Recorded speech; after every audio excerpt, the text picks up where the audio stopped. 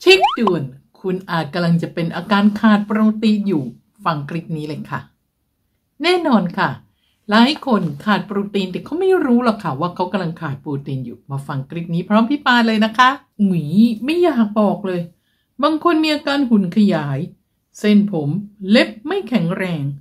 อ่อนเพลียเหนื่อยง่าย ป่วยบ่อย หิวบ่อย แล้วก็แผลหายช้า รู้ไหมคะ เกี่ยวข้องกับการขาดโปรตีนเลยค่ะ โปรตีน เป็นสารอาหารที่มีบทบาทสำคัญหลายด้าน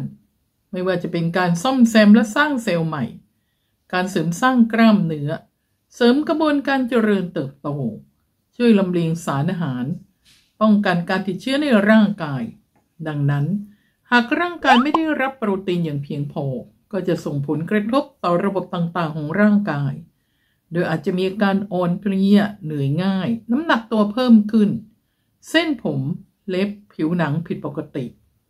ป่วยบ่อยหิวบ่อย เจ็บกล้ามเนื้อแผลหายช้า สมองล้า อารมณ์แปรปรวน เราจึงควรเสริมโปรตีนให้ร่างกายด้วยการรับประทานอาหารที่มีโปรตีนสูง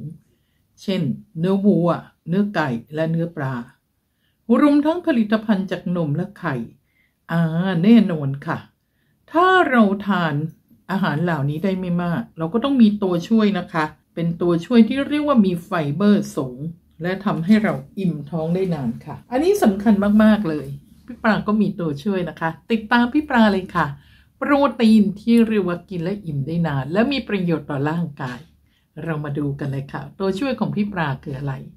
และเราไม่อยากมีอาการขาดโปรตีนใช่ไหมคะติดตามพี่ปลานะคะ